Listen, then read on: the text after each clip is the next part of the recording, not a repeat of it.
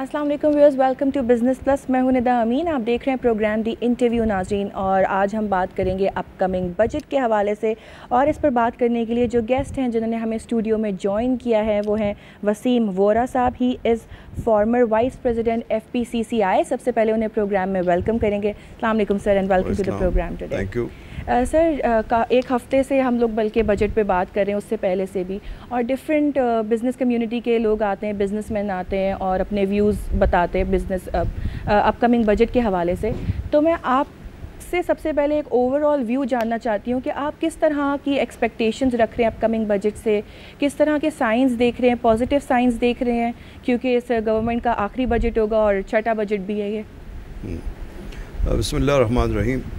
دیکھیے یہ ایک بجٹ کی جو کا جو پروسیس ہے وہ پاکستان کی اس وقت جی ڈی پی کو اگر آپ دیکھیں تو تھری ہنڈریڈ بلین ڈالرز کو ٹچ کر گئی ہے ہماری اکانومی اور اس کا جو debt to G D P ratio ہے اس وقت جی۔ وہ ہے sixty point sixty one point something right اور یہ جو کہ سکسٹی سے اوپر نہیں جانا چاہیے۔ اس کا مطلب یہ ہے کہ ڈیٹ کچھ انکریز ہو گیا ہوا ہے. Although it is within limits دوسری بات یہ کہ پاکستان کا ایک اسٹرکچرل فلا ہے اور وہ ہے foreign exchange import and export business میں جو ڈفرینس ہے جو گیپ ہے. دیکھیے اس وقت ہماری ایکسپورٹ بیس بلین ڈالر کی ہے اراؤنڈ اور ففٹی فور بلین سے ففٹی فائیو بلین ڈالر شاید اس سال ہو سکتا ہے سکسٹی بلین ڈالر ٹچ کر جائے امپورٹ کا جو فگر ہے۔ تو یہ سب چیزیں افیکٹ کرتی ہیں اوور آل بجٹ کو۔ بالکل۔ جو بجٹ سے ہم ایکسپیکٹ کرتے ہیں گورنمنٹ سے وہ ہر سال ٹیکس ریلیف ٹیکس ایمنیسٹی اور اس سال بھی یہی کہا جا رہا ہے کہ ٹیکس ریلیف دیا جائے گا۔ تو آپ سمجھتے ہیں کہ ہر بار کی طرح یہ سیاسی وعدے ثابت ہوں گے۔ یا پھر عوام کو خوش کیا جا رہا ہے۔ دیکھیے ایز بزنس مین ہمیں اس میں فوکس رہنا پڑتا ہے۔ ہم سیاسی باتیں تو کرتے بھی نہیں ہیں اور نہ اس کو جی۔ دیکھتے ہیں۔ جی۔ اس وقت جو ہمارے پوائنٹ آف ویو کے مطابق جو سچویشن اس وقت چل رہی ہے اس میں جو ٹیکس ایمنسٹی گورنمنٹ نے اناؤنس کی ہے وہ ایک اچھا قدم ہے. جی. اس سے انکم ٹیکس لاز میں انکم ٹیکس میں کمی ہوئی ہے اور فورن ریمیٹنس پاکستان میں آئے گی جس سے اکانومی کو بوسٹ ملے گا. لیکن میرا یہ خیال ہے کہ دو امپورٹنٹ ریفارمز جو گورنمنٹ کو کرنے چاہیے وہ ہیں ایک تو وتھ ہولڈنگ ٹیکس رجیم میں ریفارمز ٹھیک. وتھ ہولڈنگ ٹیکس پاکستان میں اس وقت انپریسیڈنٹڈ لیولز کا ہے۔ ہر سٹیج پہ ہم وتھ ہولڈنگ ٹیکس دیتے ہیں۔ مثلا فون پہ بھی دیتے ہیں اور یہ پانی جو پیا ہے اس پہ جی۔ بھی ہم دیں گے اور یہ تو وتھ ہولڈنگ ٹیکس کی reforms especially as a commercial man میں اگر اپنا raw material industry industrial raw material جو ہم امپورٹ کرتے ہیں اس کے اوپر انکم ٹیکس ڈیڈکشن ہماری ہو جاتی ہے پورٹ پہ۔ رائٹ اس کا اس میں میجر ریفارمز کی ضرورت ہے کیونکہ وہ جو ہماری ڈیڈکشن ہوتی ہے وہ کسٹمز لیول پہ وہاں بہت سے ایسے لاز ہیں جو انفورس کرتے وقت آفیشلس کو ایک ڈسکریشنری پاورز بھی ہیں۔ لہٰذا یہ لاز جس میں آپ ہمیں فورس کرتے ہیں کہ یہ یہ ٹیکس آپ دے دیں اور وہ بعد میں ایڈجسٹیبل بھی نہیں ہوتا۔ رائٹ اس کو کسی وہ وہ ریفارمز ہونے چاہیے۔ ٹھیک ہے۔ اچھا سر آپ سے یہاں پہ یہ بھی جاننا چاہوں گی کہ گورنمنٹ جو اتنا زور دے رہی ہوتی ہے ٹیکسز پہ اور فائلر ہونے پہ ہمارے ملک میں فائلر ہونے کے ایڈوانٹیج کیا ہے؟ کچھ بھی تو ایڈوانٹیج نہیں ہے۔ اکثر بزنس مین یہاں پہ آ کے کمپلینس بھی کرے ہوتے ہیں ٹرانزیکشنس پہ بھی آپ جانتے ہیں کہ اچھا خاصا۔ اس میں بھی چلے اگر نان فائلر کا پوائنٹ سکس پرسینٹ کٹ رہا ہے تو اس میں فائلر کا بھی تو پوائنٹ تھری پرسینٹ کٹ رہا ہے۔ And then there is know advantage اگر ہم باہر کے ملک میں دیکھیں تو people people are more happy paying taxes جی دیکھیے ٹیکس دینا تو ایک ہم سب کا فرض ہے۔ جی۔ اور اس وقت جو tax to G D P ratio ہے جی۔ پاکستان میں لویسٹ ہے۔ ایگزیکٹلی اور tax to G D P ratio is in single digit اور بلو ٹین پرسنٹ ہے۔ وہ بعض دفعہ گورنمنٹ کلیم کرتی ہے کہ ہم نے گیارہ پرسنٹ کر لیا ہے۔ اور اگر ایسا ہو گیا تو دیٹس گڈ لیکن tax to G D P ratio سے کا ابھی بہت بڑا گیپ ہے۔ اگر آپ دنیا کے دوسرے ممالک کیا بلکہ ہمارے آس پاس کے کنٹریز جو ہمارے نیبرنگ کنٹریز ہیں وہاں سولہ پرسنٹ تک tax to G D P ratio پہنچ چکا ہے۔ تو یہ گورنمنٹ کے ان اداروں کی انڈیفیشنسی ہے کہ صرف ان ٹیکس پیئرس کو یہ پکڑا جاتا ہے جو آلریڈی جن کی گردن آپ کے ہاتھ میں ہے۔ تو بیسیکلی وہ ٹیکس پیئرس جو آپ کے کنٹرول میں نہیں ہیں جس کو آپ ڈیٹیکٹ نہیں کر سکتے یا آپ کرنا نہیں چاہتے وہ میجر فلو ہے جو گورنمنٹ کو امیڈیٹلی کرنا ہوگا۔ اس سے کاسٹ آف ڈوئنگ بزنس جو ہمارا بہت بڑھ چکا ہے اور جس کی وجہ سے ہم دنیا کی مارکیٹوں میں ان کمپٹیٹیو ہو گئے ہیں ہمارے پروڈکٹس ہماری ایکسپورٹس رائٹ لہٰذا جب تک آپ اس کو ایک ٹیکس پیئر کو ریلیف ابھی جو آپ نے انکم ٹیکس میں کیجیے ریلیف فگرز جو دیے ہیں لیکن یہ امپورٹرز اور ایکسپورٹرز کو افیکٹ نہیں کرتے۔ مجھے تو وہ ٹیکس ریلیف آپ دیں جو آپ مجھے کسٹم میں میرا مجھ سے آپ ڈیڈکٹ کر لیتے ہیں۔ جو وتھ ہولڈنگ ٹیکسز آپ لے لیتے ہیں۔ اور انڈیس رینٹل آپ وہ کریں، نہیں کرتے، تو وہ ہم، میری کاسٹ ہم سب کی کاسٹ بزنس مین کی کاسٹ آف ڈوئنگ بزنس کم نہیں ہوگی۔ بالکل۔ اور سر آپ دیکھ ہی رہے ہیں کہ لوگ یہاں پہ انویسٹمنٹ بھی نہیں کر رہے ہیں۔ بینکس میں ویسے ہی لوگوں نے پیسہ رکھوانا چھوڑ دیا ابھی میں نے آپ کو اس کی ایک وجہ بھی بتائی۔ And secondly you can see کہ پھر فارن انویسٹمنٹس کی یہاں پہ بات آ جاتی ہے کہ ہم اپنے لوگوں کو یہاں پہ انویسٹمنٹ کرنے پہ کس طرح سے مجبور کریں جب کوئی انسینٹیوز ہی نہیں ہے کسی قسم کے۔ دیکھیے آپ نے ابھی جو بات میں نے اس کا جواب میں نے نہیں دیا جس میں آپ نے فائلر نان فائلر کی بات جی۔ کی۔ دیکھیے نان فائلر کا اس وقت واقعی ایک ایشو ہے۔ اور ان کو یہ فورس کیا جا رہا ہے کہ کسی طریقے سے وہ فائلر بنے۔ جی۔ لیکن ایسا لگتا ہے کہ وہ پوائنٹ سکس پرسنٹ دے کے وہ خوش ہیں نان فائلر اور ٹھیک ہے سر آپ سے یہ بھی جاننا چاہوں گی کہ یہاں پہ میں ایک رپورٹ پڑھی تھی جس میں عالمی ادارے بلومبرگ کے مطابق پاکستان کا رواں سال دو ہزار سترہ سے دو ہزار اٹھارہ کا جو G D P growth rate ہے وہ اس میں فائیو پوائنٹ سیون پرسینٹ رہنے کا امکان ہے جبکہ اس سال G D P target six percent رکھا گیا تھا۔ تو آپ کے خیال میں کیا اس سال بھی معاشی ٹارگٹس اچیو نہیں کر سکے گا پاکستان؟ نہیں فائیو پوائنٹ سیون پرسنٹ اگر ان کا ٹارگٹ ہے اور یہ اور بلومبرگ کے مطابق یہ اچیو ہو جائے گا تو یہ اچھی پرفارمنس ہے۔ ٹھیک ہاں۔ اور اس کو آپ ہم اس کو پازیٹیو لے رہے ہیں کہ پاکستان کی گروتھ پچھلے چار پانچ سالوں میں دیکھیے دو ہزار تیرہ سے پہلے تو دو پرسنٹ بھی نہیں تھی۔ تو اگر آج ہم سکس پرسنٹ کے نزدیک پہنچ گئے ہیں تو یہ ہماری ایک کامیابی ہے۔ اور جس میں پرائیویٹ سیکٹر کو مبارکباد دینی چاہیے۔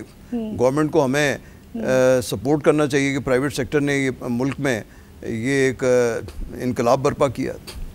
یہ تو پرائیویٹ سیکٹر کی وجہ سے ہوا ہے نا۔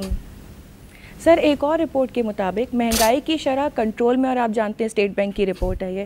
تو کیا کامنٹ کریں گے اس پر؟ اس اسٹیٹمنٹ کو آپ کس طرح سے دیکھتے ہیں؟ دیکھیں انفلیشن پاکستان میں ایک واقعی اس وقت کنٹرول میں ہے۔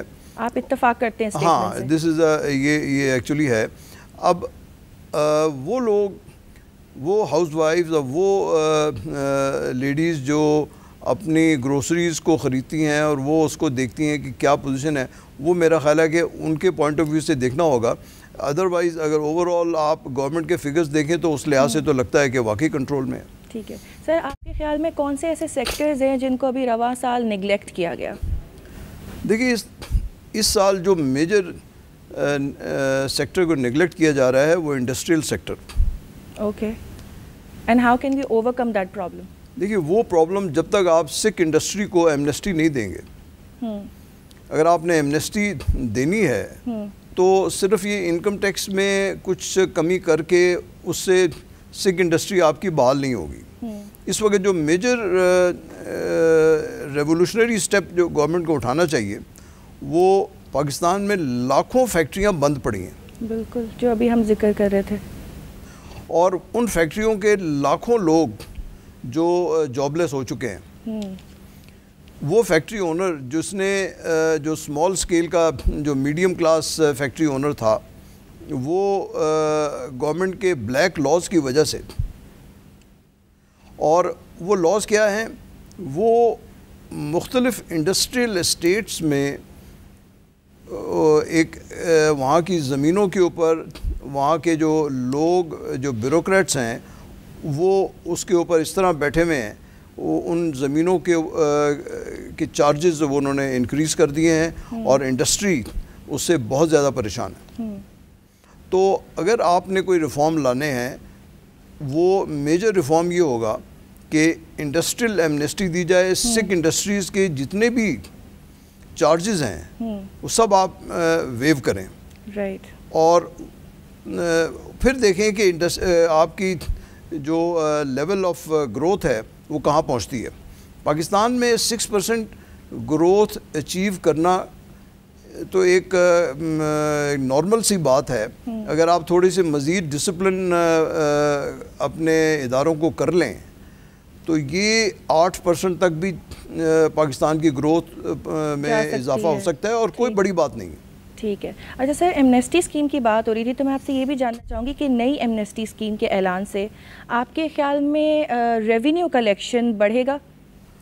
دیکھیے اس میں دو چیزیں ہیں۔ ایک تو انہوں نے اس کو لنک کیا پراپرٹی سے بھی اور کرنٹ ویلیو کو انہوں نے ایکسیپٹنس دی آپ سمجھتے ہیں کہ یہ بہترین ٹیکس ریفارم ہاں یہ this is a good this is a good tax reform ابھی جو ٹیکس ریفارم کیا گیا ہے وہ بزنس کمیونٹی کے انٹرسٹ میں ہے اور بزنس کمیونٹی نے اس کو سپورٹ کیا۔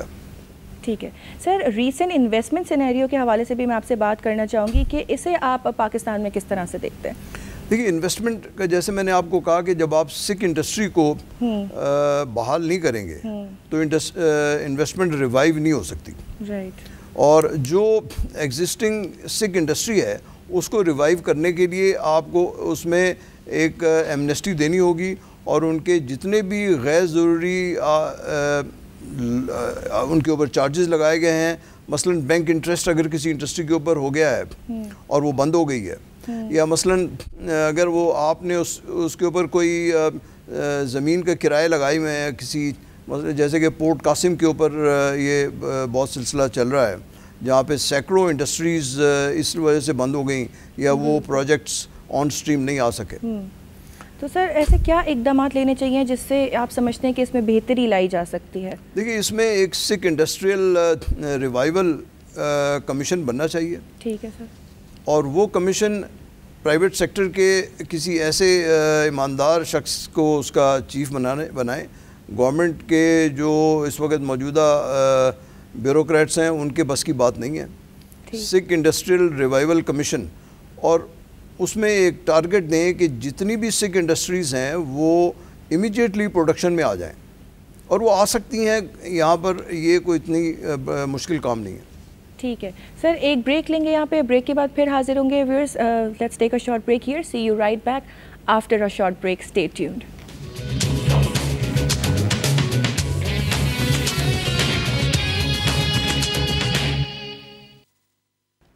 welcome back from the break viewers آپ بریک دیکھ رہے ہیں پروگرام دی انٹرویو ہم بات کر رہے ہیں اپ کمنگ بجٹ کے حوالے سے اور اس پر بات کرنے کے لیے جو گیسٹ ہیں جنہوں نے ہمیں اسٹوڈیو میں جوائن کیا ہے، وہ ہیں وسیم وورا صاحب. He is former vice president F P C C I Waseem صاحب روپی ڈی ویلیویشن کے حوالے سے بھی بات کرنا چاہوں گی. آپ جانتے ہیں آج سے پانچ دس سال پہلے ڈالر کے ریٹس کیا تھے، اب کیا ہیں اور آنے والے وقت میں کیا ہوں گے؟ تو uh, یہ بھی it is affecting our economy تو بجٹ پر کتنا فرق پڑے گا اس سے؟ دیکھیے یہ ایک ایسا اسٹیپ ہوتا ہے جو کہ نارمل حالات میں گورنمنٹس اوائڈ کرتی ہیں لینے کی لیکن وہ ایک مجبوری ہوتی ہے اور اکانومی جس ڈائریکشن پہ موو ہو رہی ہوتی ہے۔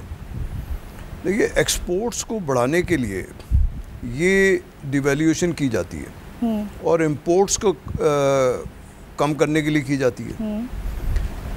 اگر آپ پاکستان کی اس وقت فگرز دیکھیں جو مارچ کے فگرز ہیں اس میں چوبیس پرسنٹ ایکسپورٹ بڑھی ہے پاکستان کی۔ مارچ ٹو تھاؤزنڈ ایٹین میں as compared to last year اس کی ریزن کیا ہے کہ ایک سو سولہ روپے کا ایک سو پندرہ روپے کا ڈالر یہ ایکسپورٹ کے لیے اٹریکٹیو ہو گیا ہوا۔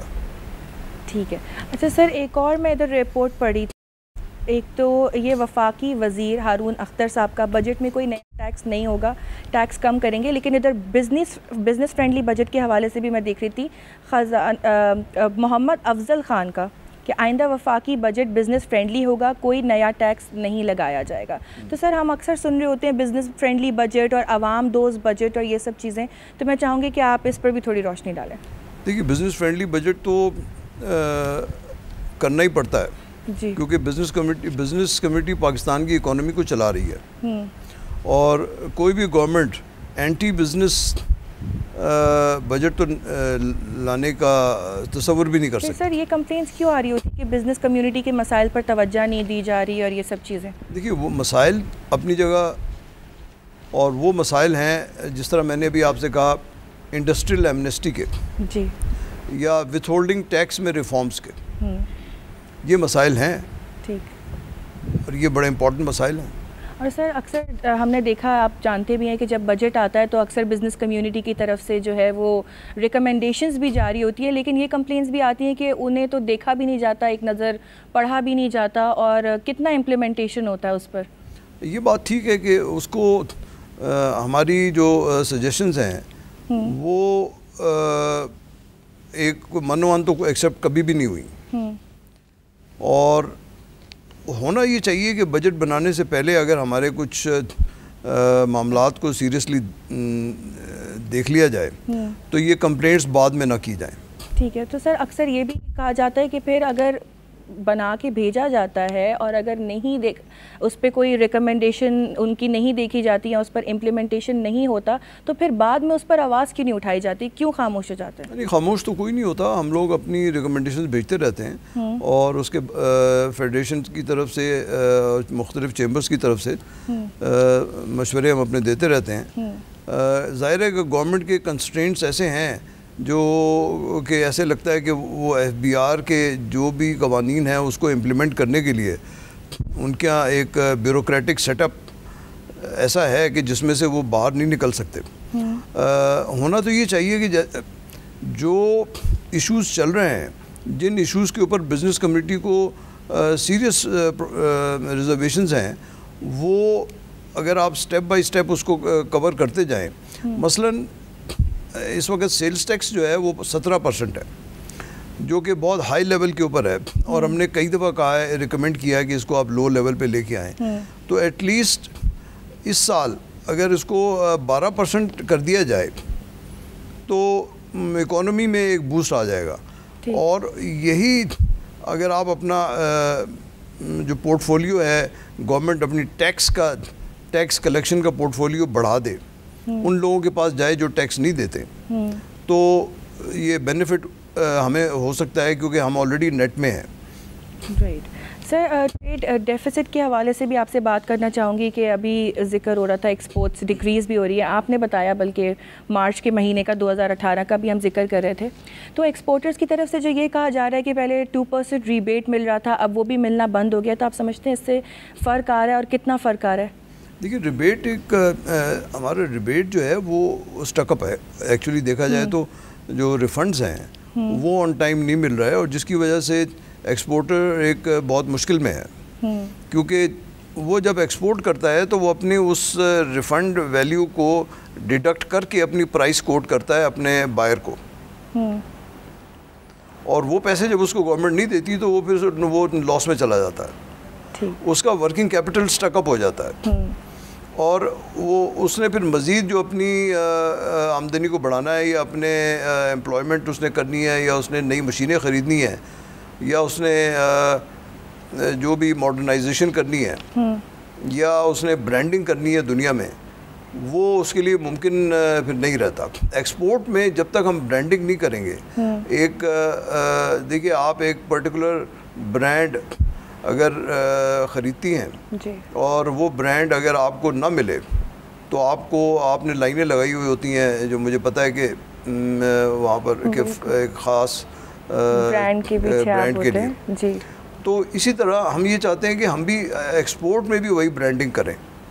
اس برانڈنگ کی سپورٹ میں ہمیں ہمارے ریفنڈس اور ہمارے جو ایشوز ہیں اس کو کلیئر کیا جائے آن ٹائم ٹھیک۔ سر ڈیولپمنٹ فنڈس کے حوالے سے بھی بات کرنا چاہوں گی کہ we need to work on infrastructural development اور ڈیولپمنٹ فنڈس کے لیے جو بجٹ رکھا جاتا ہے اس سے آپ دیکھتے ہیں کہ کتنا اس پر عمل کیا جا رہا ہے کیونکہ اکثر جو بجٹ رکھا جاتا ہے وہ تین سے چار مہینے میں چیزیں سامنے آ ہی جاتی ہیں۔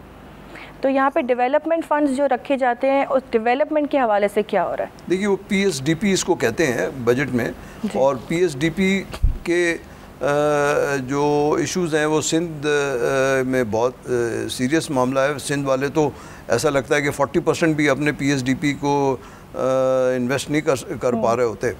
تو جس کی وجہ سے مجھے اندرون سندھ جانے کا موقع ملا۔ اور وہاں پر غربت کا عالم ہے۔ اگر ہم وہاں بھی انڈسٹری کو پروموٹ کریں، اور وہاں کی روڈز اور بجلی اور پانی اور گیس وہاں کے انڈسٹریل ایریاز کو پرووائڈ کی جائیں تو وہاں امپلائمنٹ بڑھ سکتی ہے وہاں ایک مارکیٹ بن سکتی ہے۔ اس مارکیٹ میں ایک عوام وہاں کے لوگوں کی جو کنزیومر اسپینڈنگ ہے وہ بڑھ سکتی ہے۔ تو as a businessman industrialist ہمیں تو کنزیوم کنزیومر اسپینڈنگ کے اوپر زیادہ فوکس ہم کرتے ہیں۔ ہم دیکھتے ہیں کہ لوگوں کے پاس پیسہ خرچ کرنے کے لیے کیا ذرائع ہیں۔ تو کراچی سے باہر جب ہم نکلتے ہیں تو ایسے لگتا ہے کہ سندھ میں بالکل ختم ہو جاتی ہے مارکیٹ تو الٹیمیٹلی پھر جو کچھ ہم پروڈیوس کرتے ہیں یا یہاں امپورٹ کرتے ہیں وہ پھر ہم کو پنجاب میں ہی بھیجنا پڑتا ہے۔ ٹھیک۔ سر ابھی آئی ایم ایف کی طرف سے بھی کچھ دن پہلے اسٹیٹمنٹ آئی کہ پیٹرول کی قیمتوں میں بھی اضافہ ہوگا ڈالر کی قیمتوں میں بھی اضافہ ہوگا۔ اور دیکھنے میں بھی آیا تو کیا کہیں گے اس حوالے سے؟ اس پر کیا رد عمل ہونا چاہیے؟ اصل میں پیٹرول کی قیمتیں تو دنیا میں بڑھ رہی ہیں۔ جو کروڈ آئل کی قیمتیں وہ کسی ایک گورنمنٹ کے کنٹرول میں نہیں ہو سکتی۔ وہ اوپیک اس کی پرائسز اپ ڈاؤن کرتا رہتا ہے۔ اور اوپیک اپنے ان کے اپنے ورلڈ وائڈ ٹارگیٹس ہوتے ہیں۔ یہ بات ٹھیک ہے کہ ہمارے یہاں جو پیٹرول کے اوپر ٹیکس بہت زیادہ ہے اور اس ٹیکس میں جتنی جلدی گورنمنٹ کمی کر قابو پا لے وہ ہمیں پیٹرول بھی سستا ہو سکتا ہے۔ یہاں سر بجٹ سے لوگوں کی آپ جانتے یہی امیدیں ہیں امیدیں ہیں کہ وہ چاہتے ہیں کموڈیٹیز کی پرائس میں انہیں ریلیف ملے۔ اور لوگوں کے جو مین ایشو ہے وہ ہے بجلی اور گیس جو یہ کہتے ہیں کہ آنے والے کچھ وقتوں میں ہم نے کافی بہتری دیکھی ہے اس میں۔ تو آپ سمجھتے ہیں یہ بات ٹھیک ہے؟ کیونکہ اب جب گرمی آئی ہے تو لوڈ شیڈنگ آتی شروع ہو گئی ہے۔ دیکھیے اس وقت جو انڈسٹریل ایریا میں لوڈ شیڈنگ نہیں ہو رہی ہے۔ لیکن سر علاقوں میں یہاں پہ اچھا، کافی اب ریزیڈنشل ایریاز کی جو بات ہے جی۔ وہ ابھی تک تو یہ کلیم کر رہے تھے کہ ہم نے ختم کر دیا جی۔ یہ سڈنلی پھر شروع ہو گیا ہے اخباروں میں ہم پڑھ رہے ہیں جی۔ جو کہ ایک نیگیٹو جاتا ہے آپ کے لیکن وہ لیول جو ہم نے دیکھا تھا دو ہزار تیرہ میں یا دو ہزار اس سے پہلے وہ واقعی اب نہیں ہے۔ دیکھا جائے تو بجلی جو دس دس گھنٹے یا آٹھ آٹھ گھنٹے نہیں ہوتی تھی۔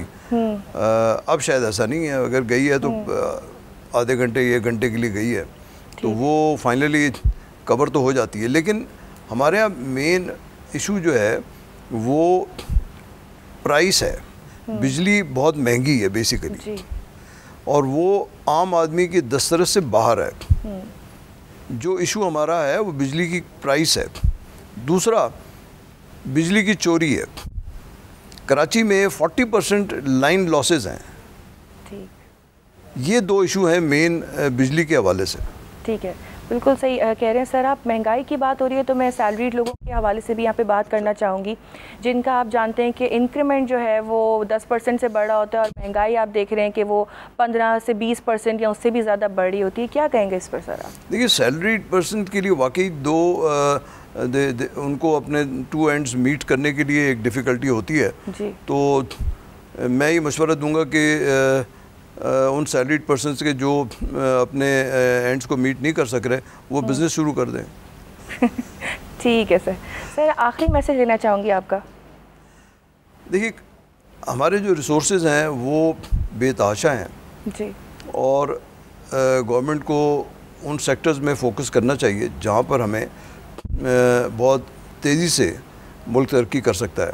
مثلا یہ کہ ٹورزم رائٹ اگر آپ ہمارے کوسٹ کوسٹل بیلٹ دیکھیں خوبصورت بیچز ہیں ہمارے پاس۔ ہمارے پاس سن شائن ہے۔ اس وقت ابھی بھی اگر آپ روس امریکہ کینیڈا میں دیکھیں تو وہاں ابھی بھی برف جمی ہوئی ہے۔ وہ لوگ ایسے سائٹس ایسے علاقوں کے میں لاکھوں کی تعداد میں فلائٹس لے کے پہنچتے ہیں جہاں پر ان کو سن شائن ملے اور ہم اپنی اس سن شائن کو کہیں استعمال نہیں کر رہے۔ سر آخر میں آپ سے جاتے جاتے ایک اور چیز یہ پوچھنا چاہوں گی کہ اگر آپ فائنانس منسٹر ہوتے تو آپ کس طرح کا بجٹ پیش کرتے؟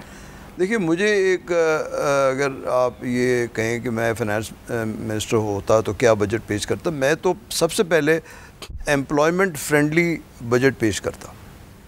جس میں لوگوں کو ایمپلائمنٹ ملے۔ اور وہ ایمپلائمنٹ تبھی مل سکتی ہے جب آپ انڈسٹریل ایمنسٹی دیں گے۔